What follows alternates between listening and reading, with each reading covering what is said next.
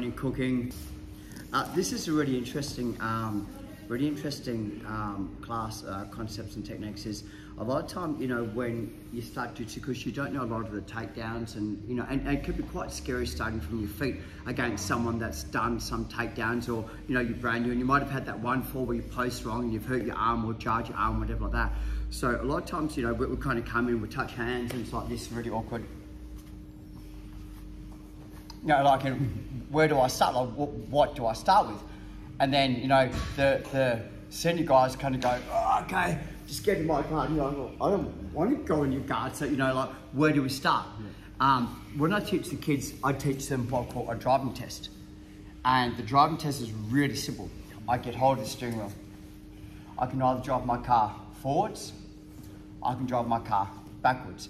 I can turn to my right, I can turn to my left.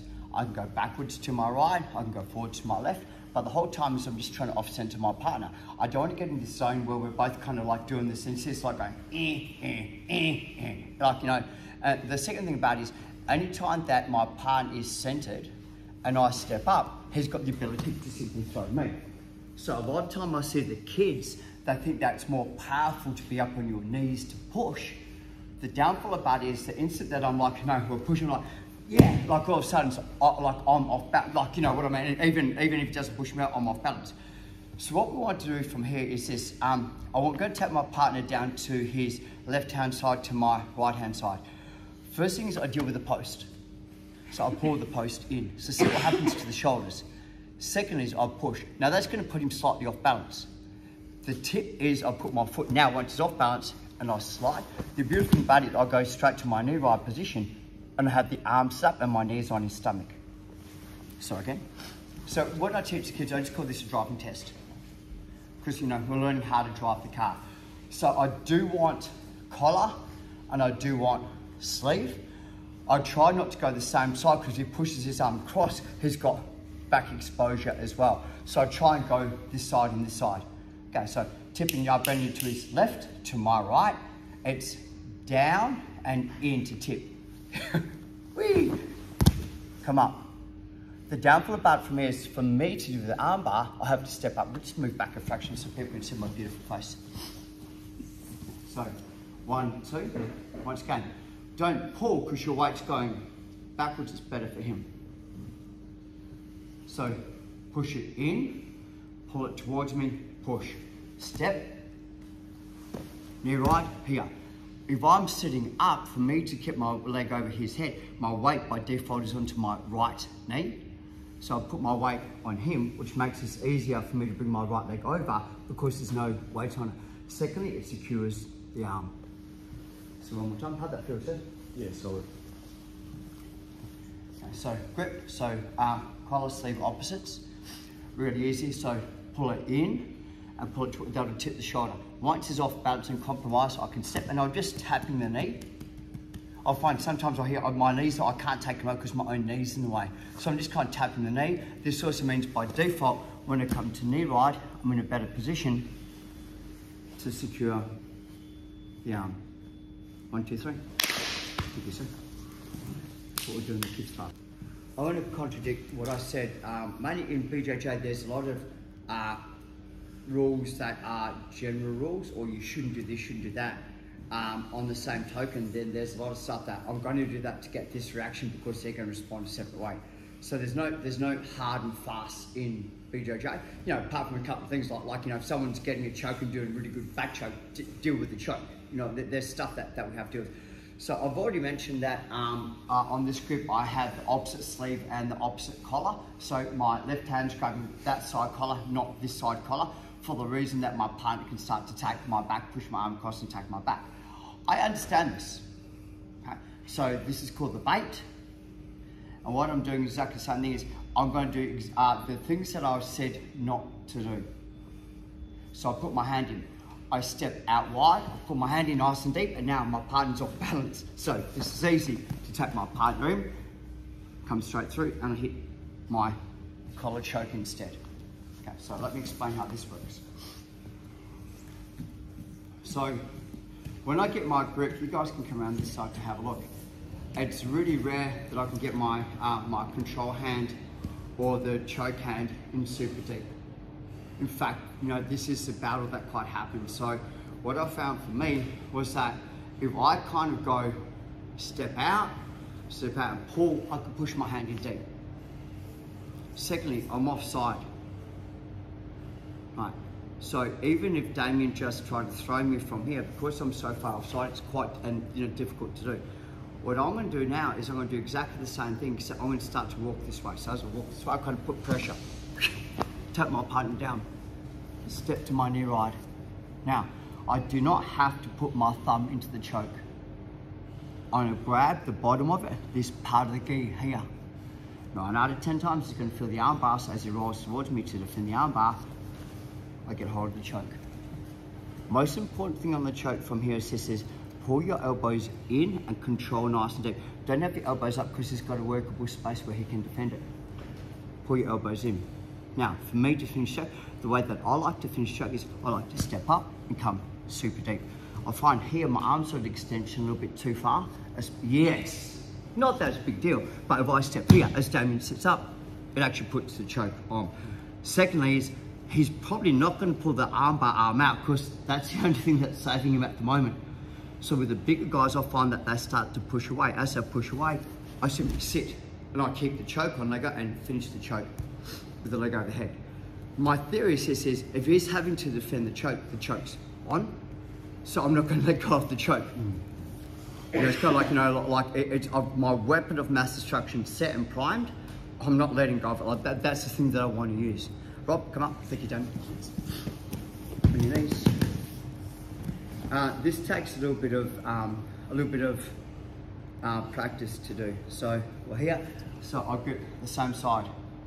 I don't kind of hesitate, so I'm going to go right leg steps out, left leg, prime, and hand goes in. What I find people try and do is they try and turn this here. It's too hard to. So I'm going to just kind of run DMC, walk this way, put him down, step, grab the back. If you put his jaw down, I'm to break his jaw. Yeah.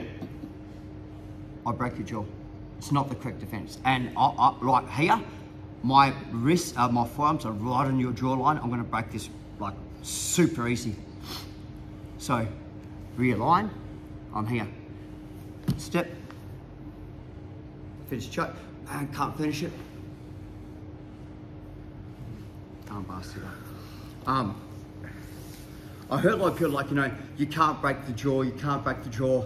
Fuck, I call bullshit on that, man. I'll, I'll break your jaw from that. Like 100% I'll break your jaw. So prove me wrong. Come in here. Let me choke you. See how you go. Um, serious. okay, so it's not deep enough. It's here. Step, step, pull, goes in deep. Step, pull, pull, pull, pull, pull, push. So that hand pushes to my knee ride position, wait for my partner to roll towards me. As he rolls towards me, slap on the back, come over the top. Oh, that's on.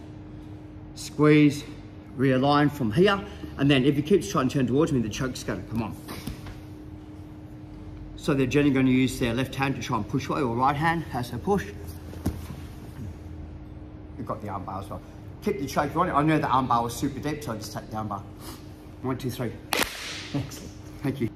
I'm going to cover some very basic fundamentals. This is a lot of stuff that people overlook or are unconscious incompetence, they're not aware of it. So um, just as a basic, and this will set up our next game plan. Okay. Anytime that we're on our knees and my knees are together, I'm compromised. It does two things. I don't have a post and my hips are high. Anytime I'm forward or backwards, I'm compromised one way or the other way as well. So as a general rule, what we want to do is we want to match their height unless their height goes high and we go lower. So the, the thing is, I want to kind of go here and here. If my hips are forward, my weight's going forward. So if Rob slightly pulls backwards, I'm definitely going to go forward. If I can drop my weight down, if no Rob moves me, I have a very solid base. This is a lot, a lot better base for me. It's actually very harder to move. So the downfall is if my partner matches the wide base and straight base. Okay. I know two things. I'm going to have a hard time pushing him over the second thing, which is my benefit, is harder for him to move. Of course, he's compromised his movement by consolidating a base. It's really rare that you can have movement in base. Okay, so first thing, I'm going to do our Patrick Swayze. I'm going to kick him as hard as I can in the ribs with a roadhouse kick. Okay, so clear the debris. roadhouse. Armbar. So, This works best when my partner has already, so you know, we've got this, okay, so on the arm that's extended is the arm that I'm attacking. Foot. And he goes, look, Adam's got no base, throws me on the ground, leg comes over, and I hit the armbar. Right. So, execution fraction. I am going to get pushed over. It's in my favour. The uh, last part about is I need to spin 90 degrees. So the shin on the hip helps kick me to here. I need to open my legs. I'm going to go super slow.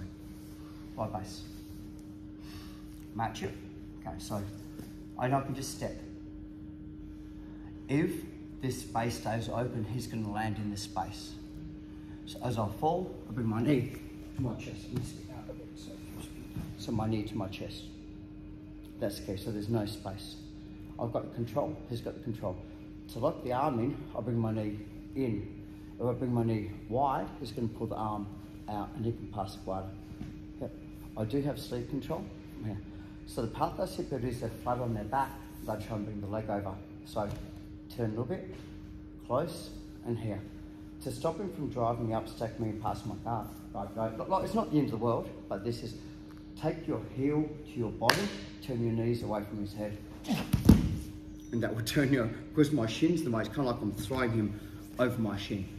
Secondly about it is that because the head's the heaviest part of the body, I'm tipping the head, the body will follow. Right, so uh, the small details once again is we have the wide base, so we're here, I match his height, step up. Now, as he pushes, I'm going with it. So I'm trying to land here, my knee to my chest, and matrix around, spin around, left. Right, okay. So bring your knee up if you can. The downfall is if you're facing your partner, your knees are facing the wrong way. This is better for him, not so good for me. So I like to go like my shin just turns a little bit. My shin turns. That'll extend the arm. Heel to my bottom. Turn my knees. Plane the arm. Sit back in elbow. One, two, three. Um, the final one for today is um, we're going to start off on our knees. My partner once again has a, has a very, very wide base and I'm having trouble compromising my partner. So what I'm trying to do is trying to get what I call an overhook system. Um, we do have an underhook system, which is a shoulder crunch system, which we're not going to go today, but we're trying to get the overhook system. The biggest part on the overhook system is everyone kind of comes up super high and they're susceptible to being taken down. So, um, Mr. Young to get our grips again and, and like you know we've got that really wide base from here and you know we're, we're trying to push and shove. So what I want to do is, is instead is I want to swing to the inside position and this is the part that I don't want you to do. I see and they're going to come up high to do the and you know I've given him because I'm high he can attack me and etc so what I'm trying to do from here is it's nice now so I just shoot and I grab and this will actually take his post out and uh, give me the ability to, to move him again. So it's an overhook system uh, the reason why this is so successful, it works on, on two directions, not one direction because they suck. Okay, so from here, the two directions. Died the other day. Yeah. One of them died. Oh yeah. Oh. Too soon. You went one direction. Um, so, We can edit that out. Off his balcony. Down. anyway, go on. Okay, so no one's recording. no, no, it's not like that. So what if I see if I'm trying to pull my partner, we've already worked out that they've got the good base. The trouble is, it's kind of pulling in one direction. Okay, so once they come over, I'm pulling and pulling down. So this compromises this base a lot more because I have dual motion. I don't go. I try and stay on the elbow because that's the the middle of the lever. So wide base from here, bit of push and shove, inside position, on top, pull it down from here, and I don't have to move, step up. Once again, I'm in the armbar position, and because it's steep, I don't even have to step overhead. The armbar's quite a tight little armbar from here. Okay. So inside position, wide base, hips low, and like I'm trying to move my pain, you've got that little bit, so just circular inside. So I'm trying to keep my forearm on his forearm and just trying to cup here. So I'm not trying to do the whole big over, just this little, okay, get behind it, pull it down and in, which is a mechanic, push, step up. Because that arm's on elbow deep, this makes it super easy for me to get to my arm bar. You can step over the head if you want to. One, two, three. Yeah. Just very different kind of style arm bar. Boom. On your knees. Okay, so very simple guys. Once again, we start up from here. I get the control position. I'm on the outside, so pull the arm down, pull in. My left hand pushes, take my partner, step from here.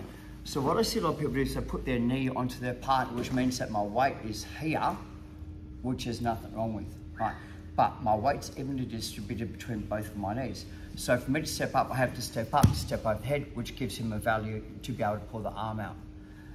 So for me, what I want to do is this is I want to put all my weight onto my hand and I want to bring my foot under. So I'm pulling in and I'm like it's quite a heavy, so I'm in this position from here. This means that my foot is now free to move over the head without me having to fall down when I do the arm bar. Where I see a lot of time that we're here, sorry Rob, I'm, I'm light but I'm heavy. It uh, feels great. Okay, so for me to step over, I have to take this big step and there's too much space. So here, it's not this, it's this. It's this. Everyone focus on this, but if my toes are facing down, he can just put the elbow down to the ground. And my toes are pointing towards his head, I have a little bit more control. Secondly is um, weight distribution. Weight distribution. Okay. I believe that you can make 70 kilo feel like 100 kilo, and you can make 100 kilo, kilo feel like 70 kilo. Right, So the biggest thing I need right is this. You okay with this? Absolutely. You know what I'm doing? I, I, I can guess. You signed your waiver? I consent. Okay, okay. I, I consent. So look, if I'm here, my weight's 70 odd kilo. If I spear, it changes. He will have to get a reaction. I don't have security. So here, spear. It's a fast armbar. So when I hit the knee ride, I spear my knee through the chest. I didn't put it purposely right where I needed it to be, but I'm going to drive my knee in. Um, so what I see people do is the points of contact is one, two, and three. So foot, foot, knee. Change it so it's just foot and knee. Okay. Second thing about it is this is once I'm here, if I have the control, it allows me to now here. As he pushes, it allows a really deep swing underneath, which allows me to start to move my leg over without losing my balance. And take the arm. Yes, sir. So, uh, getting in the habit of taking your foot off the ground, obviously. Um, Yep. So, if you keep doing that, you, you can't really go wrong. It's going to end up in the right. in Come the here, right position. Come here. Take face now. So I'm, I'm going to go light. Yep. Okay. So how heavy do I feel? A little bit heavy. Yeah, light, not heavy. Watch. If I slowly take my foot off, how, how heavy do I feel? Almost lighter. Okay. So if I change it to here, Yeah, that's. right. So not the ribs. The ribs are your armor. They're the armor. I'm going for the chink in the armor. Here. Yeah. And you okay? Yeah. Add in the pull. I'll almost tap you with my knee right. Yeah. So that's going to make you react. So for me, I'm not going to do it hard. As I'm doing it for me, if my partner turns towards me and digs it away, my hand goes in, my hand goes over and choke. If my partner turns away from me, oh, off. Yeah. So it sets up, it sets, so it sets up all my attacks. So the, the spear knee ride will help you consolidate your, your submissions as well. Okay, line up guys, one, two, three.